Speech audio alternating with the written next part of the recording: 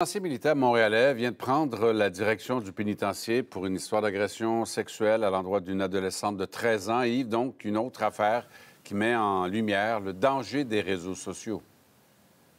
Absolument, Michel. Et cette fois, je vous parle d'Alexandre Matheson, 22 ans, coupable de l'heure à l'égard de cette adolescente de 13 ans sur les réseaux sociaux. Il l'a agressée sexuellement à quelques reprises. Eh bien là, il vient d'écoper de 42 mois de prison. Euh, vous savez, les premières conversations, Michel, qu'il a eues avec l'adolescente via Snapchat, c'était innocent. C'est devenu rapidement explicite, carrément sexuel. Euh, il a finalement réussi à rencontrer l'adolescente.